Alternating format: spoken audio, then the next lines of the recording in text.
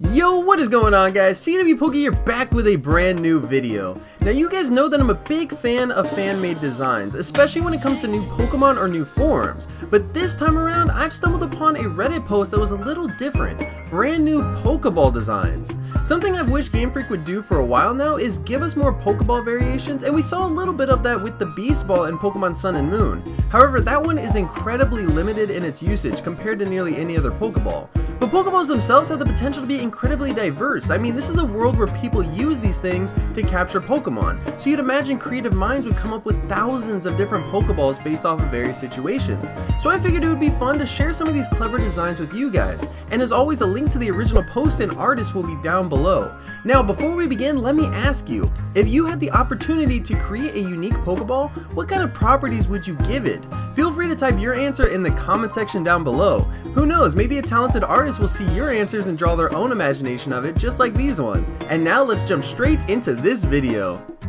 First up is probably my favorite set of Pokeballs in this entire list, the Stormball, Sunnyball, Snowball, and Dust Ball. If you guys weren't able to tell, these Pokeballs are designed off of weather conditions being on the battlefield. If the respective weather condition is set, it becomes easier to catch Pokemon. But the thing I like most about these designs is that they would actually influence Castform. Depending on which ball you capture them in, that influences what default form it starts in. So let's say I catch a Castform in a Storm Ball, it'll instantly start in the Rainy form, and for the Dust Ball it'll stay in its default form. I could also imagine these Pokeballs would have other effects as well, maybe like prolonging the duration of the respective weather by a single turn or two. Next up we have some Pokeballs that are actually based off of the typing of the Pokemon that is being captured. So first on this list is the Insulation Ball, which has a higher catch rate on Fire, Ice, and Electric types.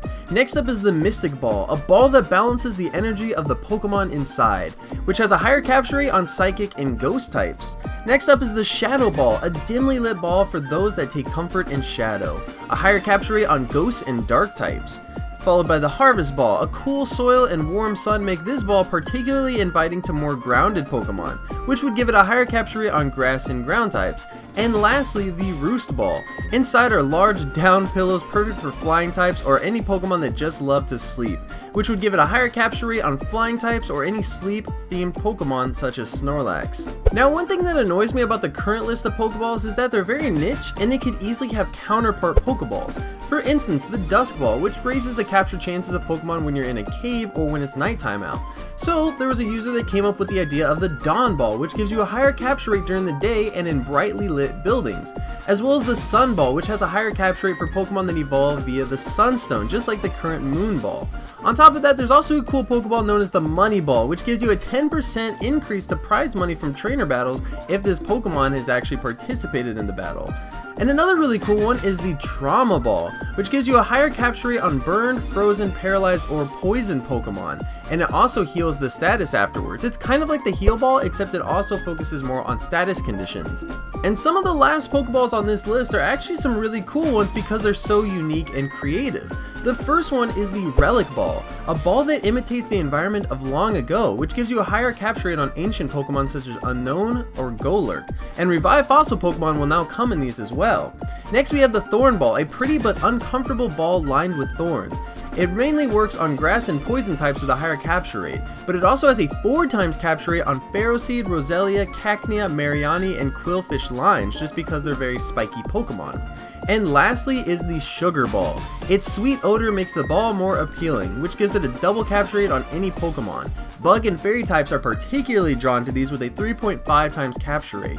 I think something to also make this a little bit funnier would actually be to decrease the capture rate on Poison type Pokemon and maybe even Dark types just because they're a little bit more sinister and maybe wouldn't like something sweet. And with all of that, this list is already over, so let me know what your guys' favorite Pokeball design was. Also, don't forget to show love to the original artist of these designs, SeraCross over on Reddit. Again, a link to the original post which credits the original creative minds behind these designs can be found over there. Thanks so much for watching guys, be sure to smash that like button if you enjoyed, and if you haven't already, click that subscribe button. I would heavily appreciate it. Thanks again for watching guys, and I'll see you in the next video. Peace out!